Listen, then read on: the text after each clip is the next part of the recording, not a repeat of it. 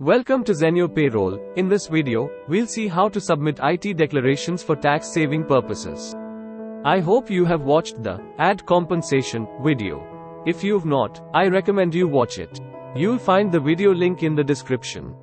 Go to IT declarations on your Zenyo Payroll homepage.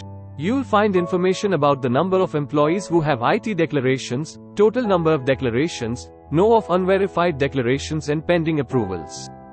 To add declarations, choose an employee from the drop-down, and click on the Add IT Declarations button.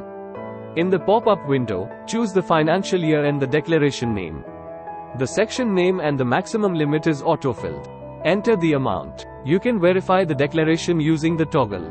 Upload the documents using the attachments link over here. Finally click Save. To send reminder emails to the employees to submit their IT declarations, click on the Request IT Declarations button. Select the employees from the drop-down and click Request. One thing you should note here is that only active employees can receive IT declarations requests. At the bottom, you'll find a list of all the IT declarations that have been saved. You can filter these by employees. If you want to edit any of the details that have been entered previously, just click on the financial year and hit on the edit icon. Make necessary changes and click update.